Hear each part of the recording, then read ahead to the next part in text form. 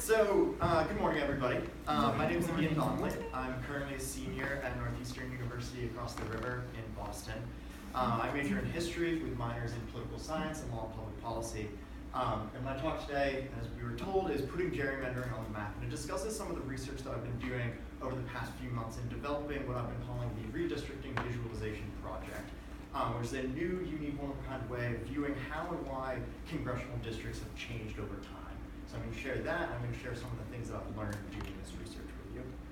So first, what is gerrymandering? I'm sure that almost everyone in this room has heard about it. It's been in the news a lot recently. Um, but where does it come from? So the first gerrymander was actually from right here in Massachusetts um, in the 1810 round of redistricting. And the governor at the time was a man named Elbridge Gerry. Um, and he had a hand in shaping a state senate district in Essex County, in the northeast portion of the state, um, that would favor his party, the Democratic Republicans, over the opposition Federalist Party. And contemporaries at the time were very unimpressed by this district. Um, they likened it, you can see it right here, they likened the shape to a salamander, and then they portmanteaued that with his name and came up with the term gerrymander. And it's since changed to gerrymander, but that's where the term comes from. And there's two important things I want you to take away from this story. One is that the first gerrymander, the original one, was drawn as an explicitly partisan exercise. It was drawn to favor one party over another party. And the second point is that they identified it as being wrong because of its irregular shape. Uh, around this time, most state senate districts were squares. They pretty much followed, uh, you know, they were square polygons. But this one curves around. And so they said because of its shape, we can tell that it's a bad district. And those two ideas have become ingrained in how we think of gerrymandering today. That a gerrymandered district is one that is for partisan gain and irregularly drawn. So now I have a brief audience participation card. So there are two maps on the screen. Um, you guys can see them. They are both real maps from Massachusetts history. One is gerrymandered and one isn't. And I want you guys to try to figure out which one you think is gerrymandered and which one isn't. So if you think the one on the left, this one is gerrymandered, raise your hand. And if you think the one on the right is gerrymandered, raise your hand Yeah. right? The one on the right is gerrymandered. You can tell, right? The, the shapes are all weird. It looks terrible. um, but this is a little bit of a trick question, I'll admit. Um, the I ask it to highlight a key point. Map 1 is from 1853, and it was drawn before any notion and any requirement of one person, one vote, uh, before any of the requirements of the Voting Rights Act, and it probably wouldn't hold up in a court of law today if it came before a court for any of those challenges.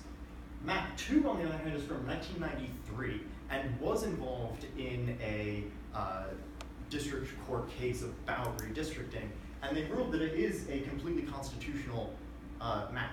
It follows, it adheres to one person, one vote, it follows the requirements laid out in the Voting Rights Act. But it looks funny. And that's the point that I want to illustrate, is that just because a state uh, congressional map has clean lines, just because its borders are, are, are straight and look good, does not mean that it's a fairly drawn map.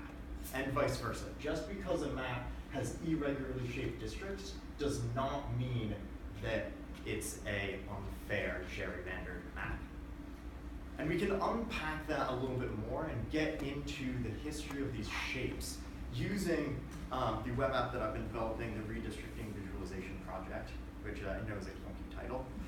um, the proportions on it get messed up a little bit here, but the, the, basic way that it works is that you choose a state. Right now, I've been working on these four. Let's say you choose Massachusetts, and a picture of the state comes up, and you can drag the cursor along and look at how the state's congressional districts have changed over time, mm-hmm. and look at what common lines they follow, where the new boundaries originate, uh, where they shift. Um, up at the top, you can see the years that it's representing. And then down here, there's information about partisan control of the state legislature, uh, population of the state at the time. And then down here, there's brief little explainers about what went into the map that you're seeing right now. Was it a standard redistricting? Uh, every 10 years, the census uh, gets taken and then Congress reapportions the representatives and then the state redistricts itself, or was there more going into it? Was there a district court involvement? Um, did they redistrict the state within that 10 year frame? Uh, was there establishment of an independent commission? Something like that. And so I want to illustrate two, um, I want to I want to dive into this and illustrate two points that we can learn from the RVP. So um, let's jump up here and we can change the state that we're looking at to Arizona. Now Arizona is a really great state to understand the impact that the Supreme Court has had on the way that we redraw districts. So in 1964, the Supreme Court handed down a case called Wesberry v. Sanders. And this was the case that said that congressional districts must be equal in population. Before that, there was no requirement, and pretty much no state adhered to that. After 1964, and between 1964 and 1972, the state of Arizona was sued three times in district court uh, and had to change its maps twice. Uh, and you can watch those changes happen as you move along in the scroller, and you can see the district get smaller and smaller. And this illustrates that prior to 1960, or in 1960, or in the 1960s, getting uh, districts to be equal in population in and of itself was such an uphill battle. Uh, the state of Arizona had to be sued three times, and none of those cases had any allegations of partisan advantage or being drawn for partisan gain, even though there was an aspect of partisanship by the unequal populations. But they were only alleging population variance. That, in and of itself, was the thing that they were trying to get on top of. And every single state that I've looked at, the, the four that you saw, have cases that are filed in the wake of this decision. And that's true across the country. And it also speaks more to, you can look at the, the districts before 1960, and they, for the most part, are neat lines. They look the way we want districts to look, but they are not fair districts by any stretch of the imagination today. Now the second case that I want to highlight is also from Arizona. So I pull up this map and you can look at it, and it looks weird, right? It doesn't really look the way that we want a district to look. There's this weird carved out notch that we don't like. And viewed in isolation, this map would tell a story that says that, you know, this map has clearly been gerrymandered for whatever reason. You know, the politicians probably drew this. But this map was drawn by the Arizona Independent Redistricting Commission, a uh, nonpartisan body. And jumping back in time a little bit, we can see the previous map also has this carve out. It also has this notch. And this map was drawn by the federal district court in Arizona, and it was drawn to break a deadlock between uh, the two chambers of the Arizona legislature They couldn't decide on a new redistricting map. And the reason that this area is carved out is because the map that the district court used was based on a plan called the Indian Compromise Plan. It was submitted by one of the Native American tribes in Arizona. And this area that's carved out is the Hopi Native American Reservation. And the area surrounding it is the Navajo. And it's drawn this way because although these are both Native American tribes with interests within that general umbrella, these two tribes historically have not really gone along with each other. And so when the uh, district court drew this drew this map um, in 1992 in light of a amendment to the Voting Rights Act passed in the 80s, it put an emphasis on treat minority groups uh, ethnic groups, language minorities, racial minorities, as separate groups that deserve their own representation beyond general umbrella terms. And that's part of why it was carried over as well into the 2003 to 2013 um, set of districts. And that illustrates also that gerrymandering isn't just because a map looks weird, just because a map is gerrymandered, because this map is gerrymandered by definition but it's not necessarily a bad gerrymander. You might disagree about whether or not they should do this, but it's not drawn for partisan gain. It's not drawn to give an advantage to one party over another.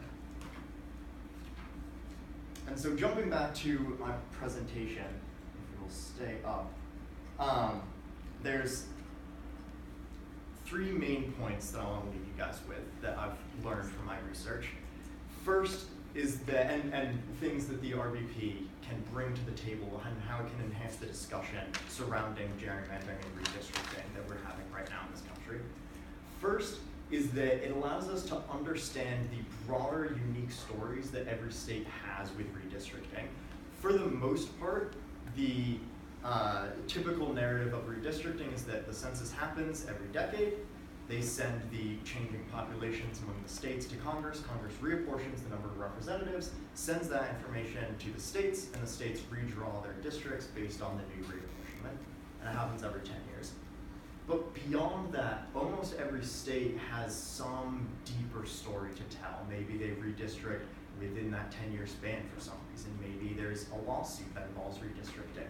Uh, maybe it goes all the way to the Supreme Court. Maybe there's an establishment of an independent apolitical body to do redistricting. And those stories are integral for us to understand the redistricting process in this country and through history. Second is that the RVP provides a visual history for us. Uh, graphs and data charts are important for understanding redistricting and gerrymandering, but they don't tell the whole story. At some point, a map of districts are maps. Those are visual tools that we should listen to. And the RVP provides an opportunity to get that in context visual history in a way that nothing else does right now. And third, we can use all of that together, all of that history, that visual history, that in-depth researched history, to create better targeted policy solutions. Because there are bad gerrymanders out there, and we should absolutely challenge them.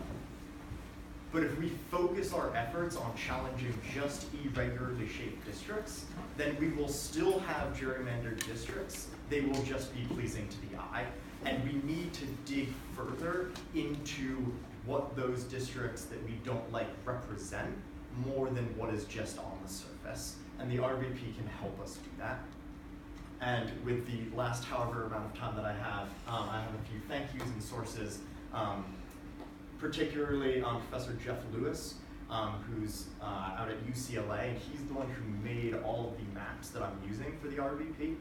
Um, and Professor Ken Martis uh, started all of this in the 1980s when he published a wonderful atlas on uh, congressional districts going back through American history. So I have to thank them immensely.